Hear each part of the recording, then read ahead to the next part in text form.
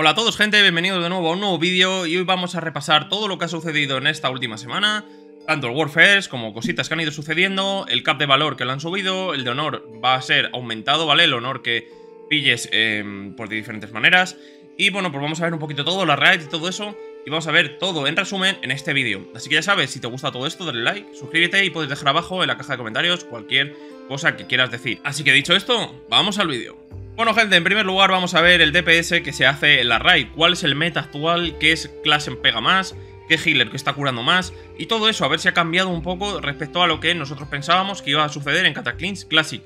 Ya sabéis que siempre suele cambiar un poco el meta, que siempre suelen cambiar ciertas cositas, y que no se puede asemejar a los privates ni nada de eso, y que antes de ver todas estas cosas, lo único que teníamos es un poco de, pues yo creo que va a pasar esto, en su día pasó esto, en un privado de los privates y tal se podía llegar a ver algo que iba a poder suceder.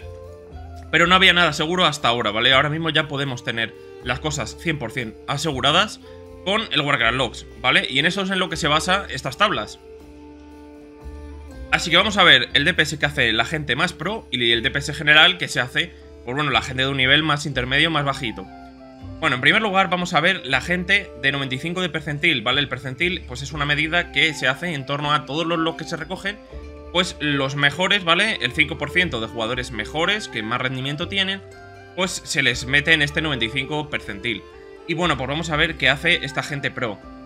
En cuanto a DPS, podemos ver aquí que tenemos a Holly en primer lugar pegando muchísimo, en segundo lugar al Rogue Combat, el Mago Fire, y más o menos todos están muy balanceados, quitando un Holly que sí que se desmarca un poco más.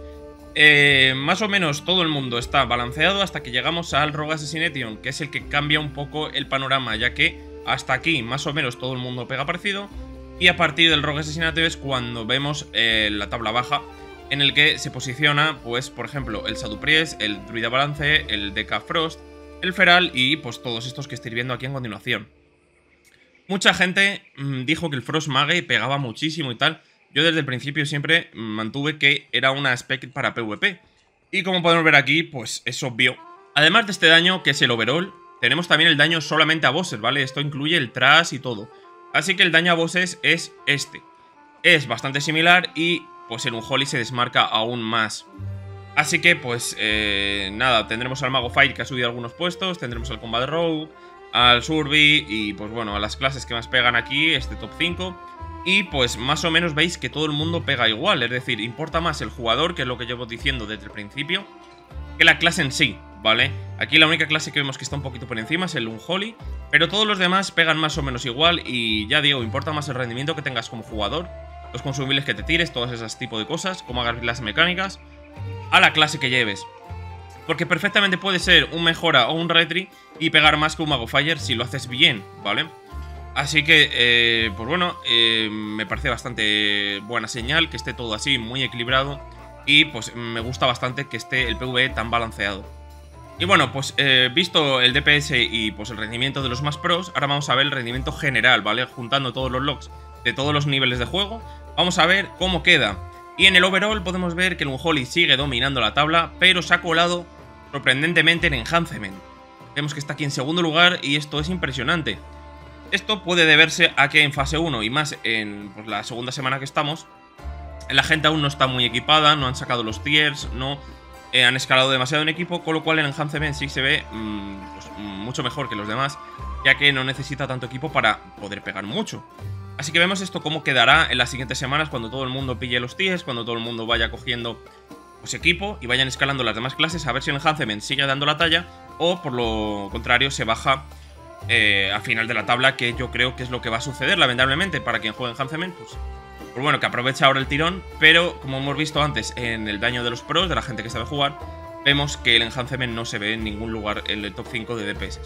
También tendremos aquí el daño a los bosses, solamente, exclusivamente a los bosses. Y bueno, pues en un Holly se sigue desmarcando, veis este punto, este es el log más bueno que hay en cuanto a un Holly. Y vemos que mete un pico bestial. Y bueno, pues el Unholy es imbatible, al final está top DPS en todos los eh, percentiles y en todas las versiones. Y bueno, pues aquí el Hansen ha bajado un escalón hasta el tercer lugar y vemos que todo más o menos, eh, pues, se mantiene más o menos equilibrado. Mm, es decir, se nota mucho los jugadores buenos, ya podéis ver aquí los picos, en los que un jugador muy bueno puede pegar más que un top 2, que un top 3, mm, siendo la clase que es, por ejemplo, el Mago Fire ahora mismo lo posicionan a mitad de tabla y fijaos que el mejor Mago Fire está prácticamente equilibrado con el Unholy. Vale, así que ya digo, no rayéis demasiado con estos de los DPS ni nada, ya que es mejor que juguéis bien vuestra clase, que la exprimáis bien, a que os cojáis una clase chetada sin más porque no va a no os va a garantizar que peguéis más que los demás. Dicho todo eso, vamos a guardar logs y vamos a ver también el tema de los healers. ¿Vale? Vamos a meternos aquí en tema de healers. Y pues en 25 man vemos que el Diffie es pues, top, ¿vale? Absolutamente top. Tanto en heroico como en normal. ¿Vale? ¿Veis? Y pues bueno, en segundo lugar está el resto Chaman, que me sorprende bastante verla aquí. Debe ser por lo mismo que pasa con el Enhancement, que estamos en fase 1, la gente no está equipada aún, no han escalado lo suficiente las demás clases. Y pues el Chaman es una clase que, para bien o para mal, pues a la larga no escala muy, muy, muy bien con el Jair, pero al principio es una máquina. Entonces aquí tenemos el resto Chaman. En segundo lugar, los Holy Paladins igualados con el Holy Priest. Y para sorpresa de todo el mundo, el druida es el último, ¿vale? No quiero que os alarméis los druidas. El druida es una clase que cura muchísimo. He visto druidas en raid, aquí los logs lo podéis ver, que curan 17, 18k en bosses. Y es una locura. Cuando los druidas estén bien equipados, cuando se empiecen a ver logs de druidas ya eh, pues con el tier, con los bonus y todo bien, vais a ver que el druida va a escalar muchísimo en esta tabla. Y pues obviamente no va a ganar al Disney Priest porque es el rey del healing, sobre todo en las primeras fases del juego. Pero vais a ver que va a escalar muchísimo. Va a quedarse por lo menos en el segundo lugar de healing.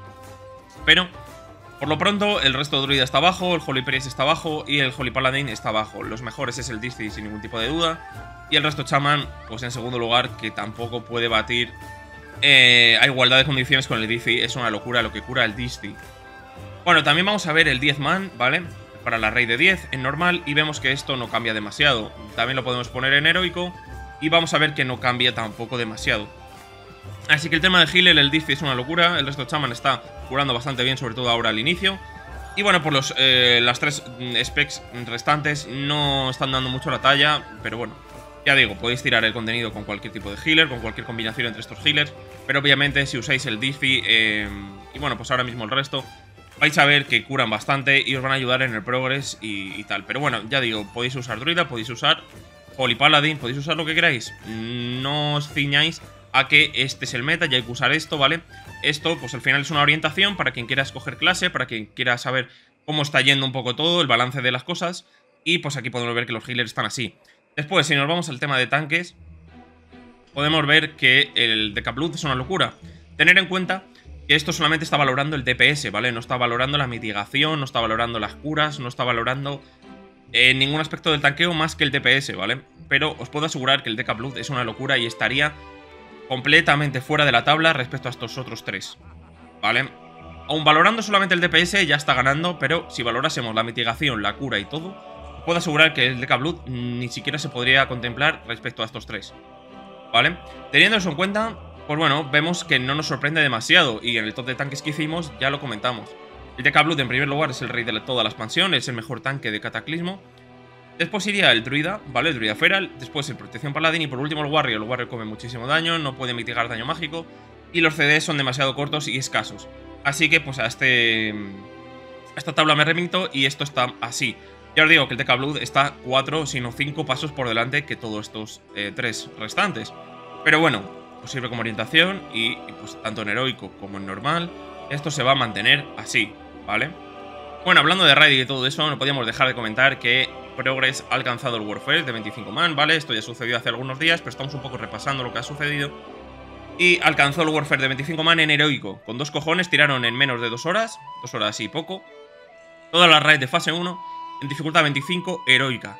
¿Vale? Esto es una completa locura porque lo hicieron de previses, ¿vale? De previses, ni siquiera estaban equipados de normal. Su primer save fue en heroico directamente. Y pues lo tiraron en, ya digo, menos de dos horas, dos horas y poco. Así que esto es una verdadera locura. Podéis ir a YouTube y ver a, pues, eh, gente que ha subido eh, ese Warfare, ¿vale? En primer lugar, como Palawe y algunos que otros que han, pues bueno, que han grabado un poco el Warfare como fue. Y podemos ver un poquito en heroico la dificultad como está. Voy a también hablar eh, de la dificultad de la raid, ¿vale? Que me viene mucho al tema con esto. Me ha parecido que la dificultad en normal es muy buena, ¿vale? Está justo en su, en su justa medida, ¿vale? De, entre dificultad y facilidad. Y pues bueno, creo que está bastante bien. Hablamos antes en la beta eh, tuvimos un vídeo en este canal en el que, bueno, estaba hablando un poquito que no sé cómo va a quedar al final la dificultad, si va a ser demasiado fácil, si no. Creo que normal es una dificultad totalmente asumible, ¿vale? Y es una dificultad muy buena para las guild normales que no son tan tryhard, puedan farmear el equipo, puedan hacer las cosas em, pues de una manera más o menos razonable. Y eh, pues creo que está bastante bien la dificultad, ¿vale? No es ni muy fácil ni muy difícil, ¿vale? Está en su justa medida. El heroico sí que me parece que es bastante, bastante difícil, es de verdad un reto, y así es como debe de ser el heroico, o sea, me gusta bastante también que el heroico sea así, y vimos que los mejores jugadores del mundo pudieron tirarlo en menos de dos horas, pero os aseguro que las guilds normales no vamos a tirar ese contenido eh, hasta dentro de bastante tiempo. Así que, pues bueno, pues vamos a ver cómo se desarrolla todo esto, pero el sistema de la raid y la dificultad que tienen me ha gustado bastante. También podemos ver aquí que el, bueno, pues los puntos de valor, se ha aumentado el cap semanal de 1600 a 4000, ¿vale? Cosa muy buena para iros eh, equipando de tier, para ir cogiendo las cositas. Y esto no va a afectar demasiado a la gente que nos raidea, me explico. Aumentado el valor, el cap de valor de 1600 a 4000, pero eh, lo que os va a dar, el valor que os va a dar las eh, semanales, ¿vale? Las misiones semanales que os dan valor, va a ser igual, va a ser 1600. Con lo cual, este cap de valor lo único que va a hacer es que si tenéis todas las eh, semanales hechas de mazmorras, podéis seguir acumulando valor haciendo raids, ¿vale? Que es que ahora mismo, si hacíais todas las heroicas semanales, después ir a raid no os daba valor, porque estabais capeados. Entonces esto lo que va a hacer que ir a raid tenga también sentido en cuanto a puntos de valor, ya que pues no lo vamos a desperdiciar. Ha sido un cambio bastante bueno y pues eh, me gusta bastante que implementen este tipo de cosas. Bueno, última noticia que ha saltado hace poco es que el save para Bastión de Baradín va a estar separado entre 10 player y 25 player. ¿Esto qué quiere decir? Que podéis hacer la raid en 10 player y después volver a repetir en 25. Esto va a estar muy bien para conseguir tier, para conseguir cosas y pues podemos tener doble oportunidad de conseguir pues todo el loot de, que da esta raid. Esta raid, para que no sepa muy bien cómo va, es muy parecida al Chabón de la WTLK, ¿vale? En cuanto a que, bueno, es un boss que entras allí, está en la zona de PvP de Tolbarat, lo tiras y pues eh, da tier, puede dar, eh, no da tokens, ¿vale? Da el tier ya canjeado, con lo cual te puede dar tu tier de un aspect que no quieres o tal. Tienes que tener cierta suerte para que te toque justo el tier del aspect que quieres. Y yo os aconsejo que os metáis a, pues, raids que sean uniclass, ¿vale? Si os metéis a un pug o lo que sea, siempre buscar eh, que sea uniclass para que si hay un tier sea vuestro 100%. Ya digo que tenéis que tener cierta suerte porque puede caer el tier de druida, pero que sea de feral, por ejemplo, y vosotros seáis por resto o balance. Así que bueno, simplemente es pues una, una raid más, ¿no? Para equiparnos, si tenéis suerte podéis coger el tier bastante rápido. Y pues aquí tenéis el sabe separado, que ya digo, hace 17 horas la noticia, así que está bastante reciente. Así que bueno, espero que os haya gustado el vídeo, espero que os haya servido, hemos hablado un poquito de todo, ha sido como un remolino de noticias y de opiniones. Así que nada, espero que dejéis abajo en la caja de comentarios cualquier cosa que os haya parecido, cómo veis el balance de clases, cómo veis la dificultad de las raids. Y pues nos vemos en el siguiente vídeo o directo, chicos. Chao, chao, chao, chao, chao, chao.